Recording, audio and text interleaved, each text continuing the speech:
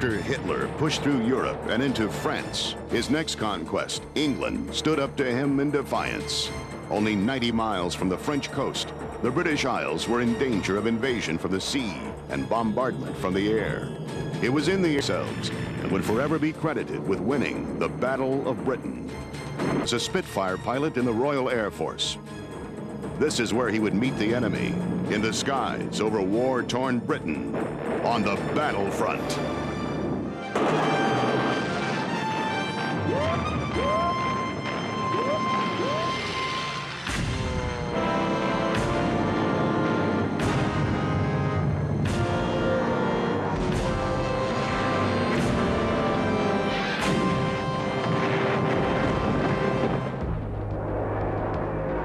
The fall of 1940, Hitler turns his blitzkrieg on Western Europe. His targets are Holland, Belgium, and France. The German war machine easily scores one victory after another.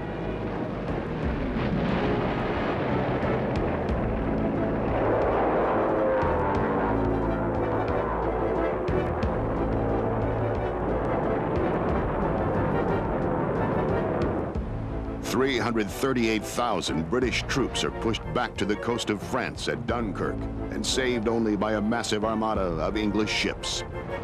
Now poised at the channel, Hitler tries to talk the English into surrender.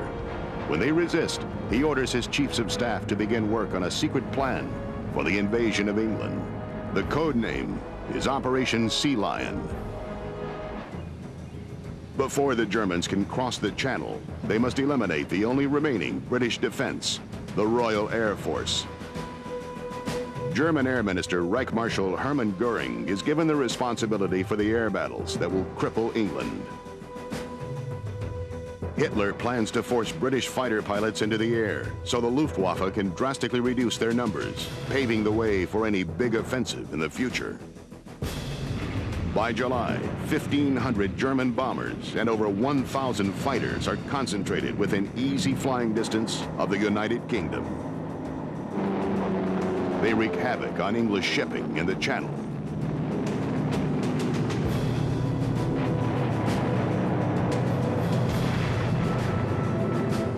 With the German forces about to strike England, the situation looks hopeless. Their first line of defense are the Hurricanes and Spitfires. One of the young RAF flyers piloting a Spitfire is George Unwin. The, the thing about the Spitfire that was so useful in combat was its maneuverability. One of the things that frightens pilots to death is a spin. The Messerschmitt, the German fighter, was particularly bad on high-speed stall. And so we could turn inside any of, of the German fighters, and that was the one thing that saved us time and time again. Invariably in a fight, you're chasing each other round and round and round, uh, but you could turn much more tight, smaller turning circle than any German fighter. Uh, The aircraft was perfect in every possible way. Aircraft production is operating at maximum capacity, but the RAF still only has 620 planes. British flyers are outnumbered by at least two to one by their German counterparts. England's defenses are increased by a chain of radar stations around the coast. But in other ways as well, Britain is prepared for the inevitable conflict.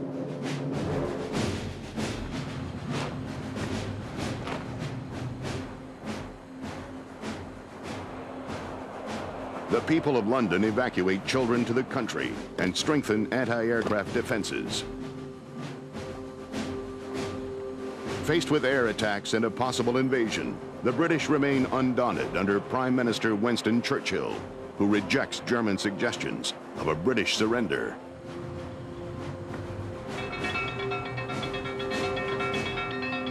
I was one of the lucky boys. I, I'd been flying for four years when the war started. I had 600 hours flying on fighters. You can't count in any other way uh, the advantage that gave me.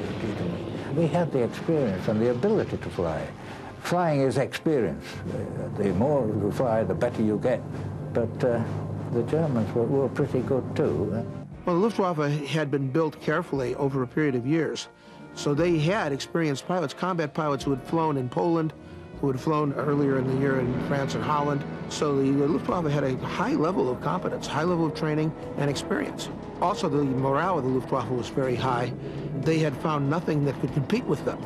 And they felt that they could beat any Air Force, and they had the numbers, the experience, and the morale.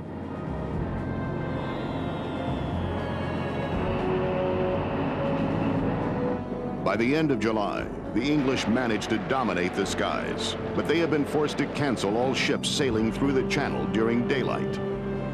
The German bombers were nearly always escorted by fighters, and the Spitfire, with its greater speed and maneuverability, was uh, eventually it was decided that they should take on the fighters, leaving the Hurricanes free to attack the bombers, because the Hurricane firepower was so concentrated he could shoot down the bombers as fast as they could put them up, providing they were not interfered with. And uh, so our orders were to take on the escort, keep the escort away from the Hurricanes, who would then do the necessary and shoot down the bombers as far as possible.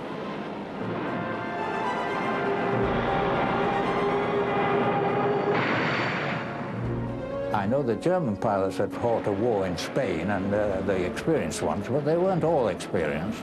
And as the fight went on, it was becoming obvious that uh, their replacements were nowhere near as good as their predecessors.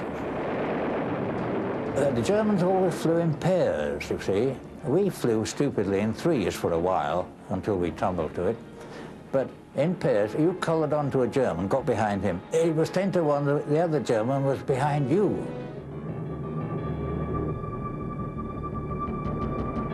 One of the things that Luftwaffe really miscalculated was the effectiveness of the British defenses. The British had radar, which helped them enormously. And also, the British had so many airfields that were sprung up all over Britain, they could scramble fighter planes quickly. And the British fighters, the Spitfires, uh, proved to be superior to anything the Germans had.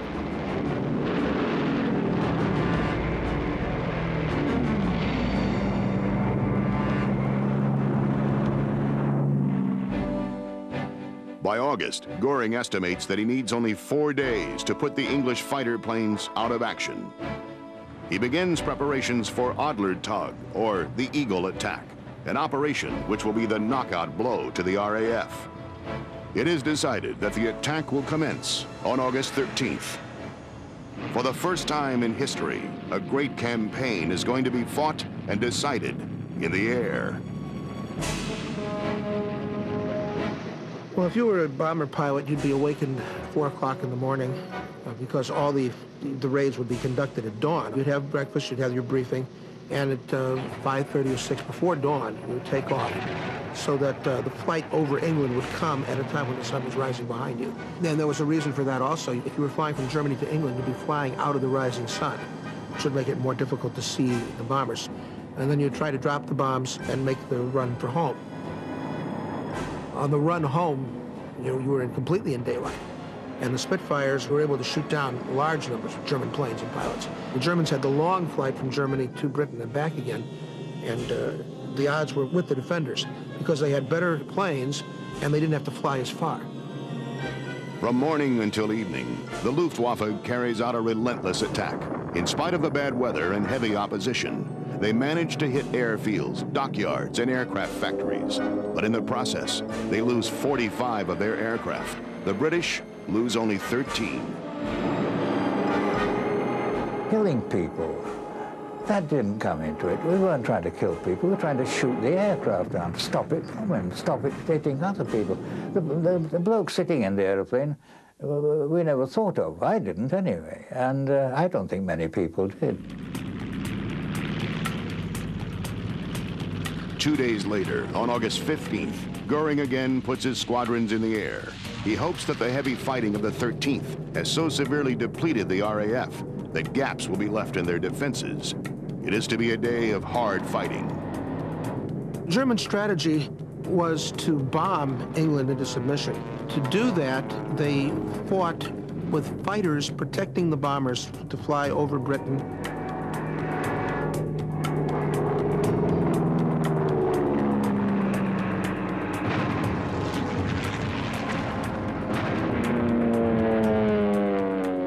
unescorted bombers could still get away with flying over Channel and over Britain because they were armed with machine guns. They had three guns on each bomber, and they had turrets in which they could shoot 360 degrees. On this day, the Luftwaffe has gotten nearly 1,800 flights in the air. They had expected an all-out victory. Instead, Adler Tag is a failure. It is the first decisive defeat that the German Air Force has suffered in the war. Because of the heavy casualties, especially among the bomber crews, the German High Command is shaken. After a brief lull due to bad weather, the Luftwaffe again attacks with renewed vigor.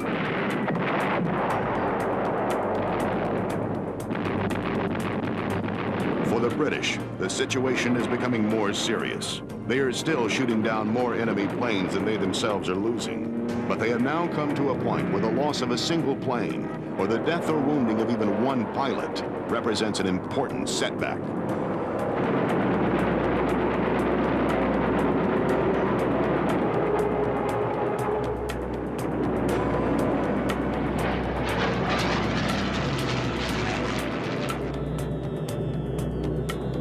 The Germans continue to hammer away at the nerve centers of the Royal Air Force Command.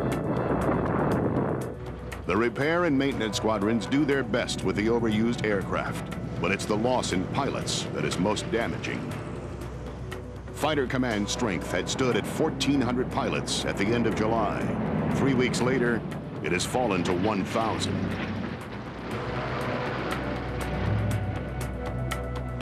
The pilot forces are being dangerously diminished. The communication systems and airfields are being battered. Even the pilot reserves are reaching desperate lows.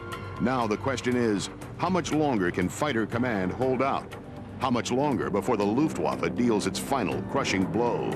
How many more days can the English withstand the onslaught?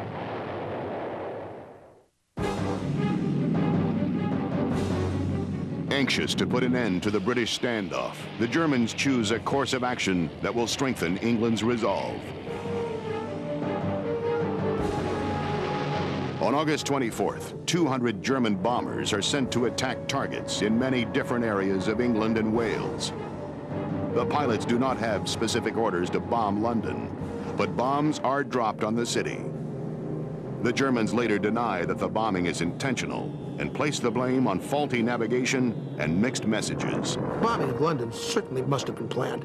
Given the German planning and the devotion to detail and the following orders, uh, it, it's almost inconceivable that the bombing of London could have been accidental, especially given the fact that the Germans targeted the east end of London particularly because they were trying to bomb an area in which they knew that there were a lot of Jews in London living.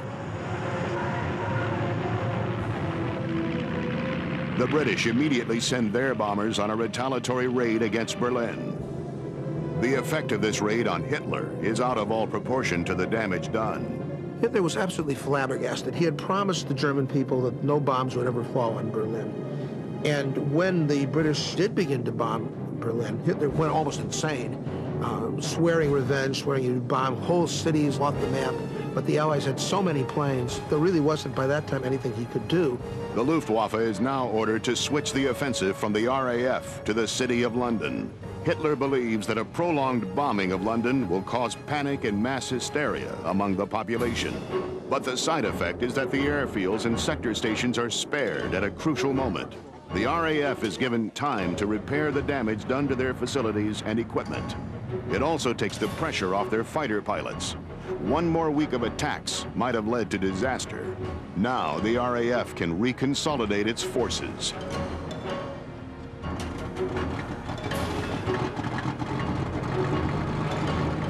Late in the afternoon of Saturday, September 7th, the Germans launched their new strategy. From a forward airbase, Goering himself watches the flights take off toward the English coast. The attack is planned to coincide with factory closings when the most civilians will be exposed.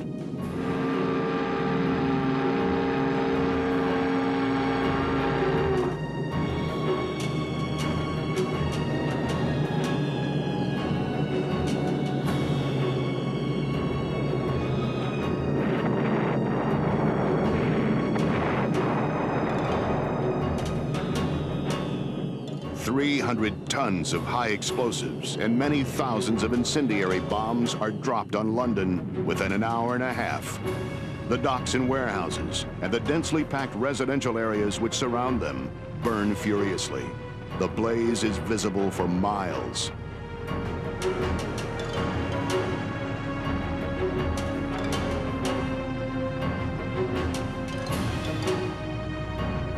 Fire started in this raid cannot be put out before more bombers return later that night with another load.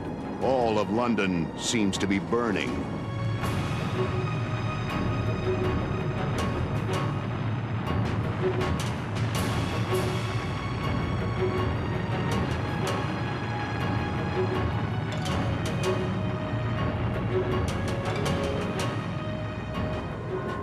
Between 5 o'clock in the evening of September 7th and 3 o'clock the following morning, German bombs kill 1,000 Londoners.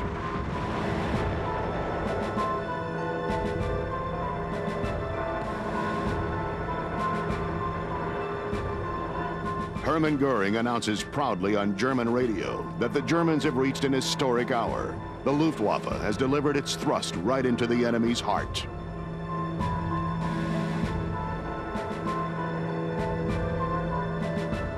The next day brings extreme tension and many rumors to London. Some believe that the firestorm is just a prelude to a German invasion. However, the first requirement for a successful invasion has not yet been met. The English Fighter Command is still operating. Hitler decides to await the outcome of the next few days.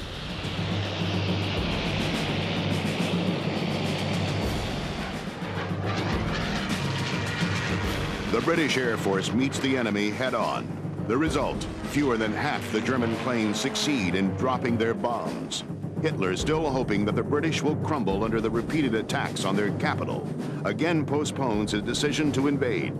He has been assured that air supremacy is almost within his grasp. The Luftwaffe is now facing a crisis. They must claim victory without any more delay. Goring picks Sunday, September 15th, as the day of reckoning. The morning of September 15th turns out to be ideal flying weather, cloudless and with fine visibility.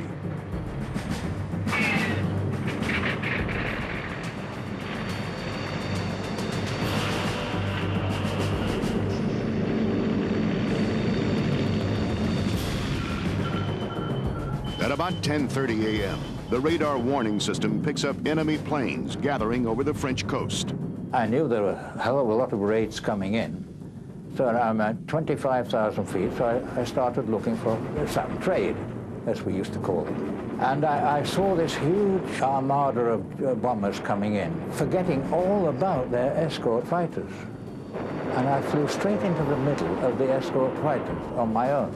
And I'm surrounded with it, whizzing all over the place. So I, I just simply put the Spitfire into a, a, a, really tight turn. And every time one of these flashed past me, I pressed the button. But I got away with it and actually shot one down, I think.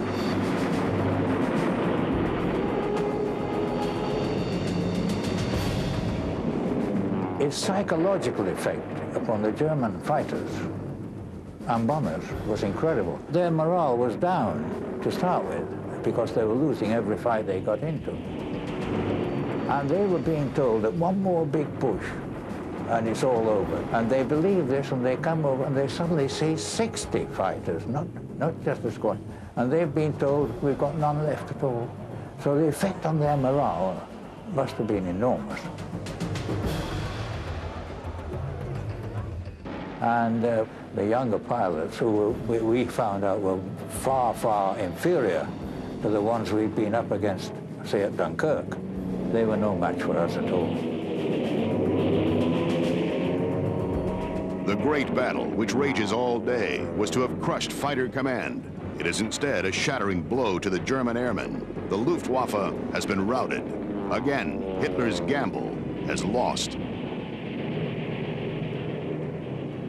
Goering still insists that four or five more days of heavy fighting will swing the balance.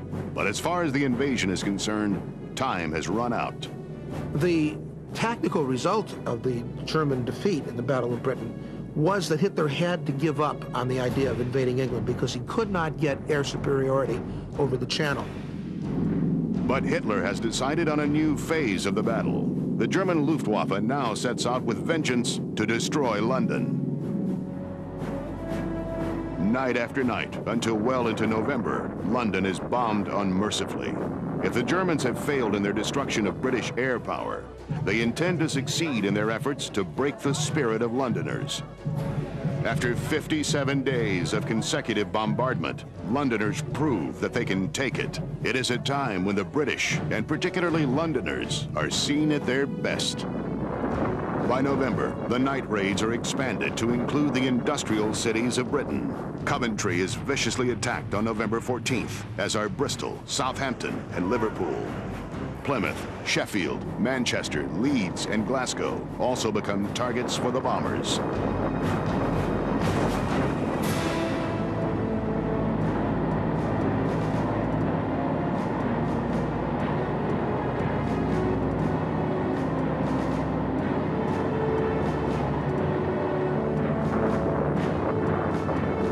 Firebombing of England would continue through November of 1941, and 25,000 civilian lives would be lost, but it would not break the English spirit.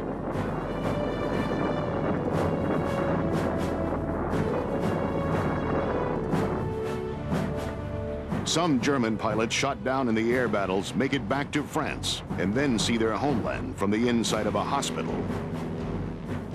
Those who recover are sent back into service.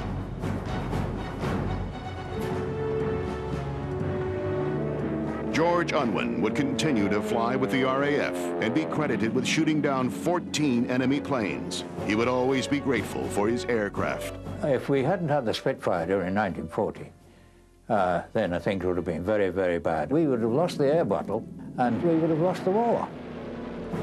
During the Battle of Britain, the Luftwaffe lose over 2,300 aircraft. The British lose 600 fighters. But if there's any single decisive day in the Battle of Britain, it's September 15th, when the RAF bravely faces a very formidable enemy and wins.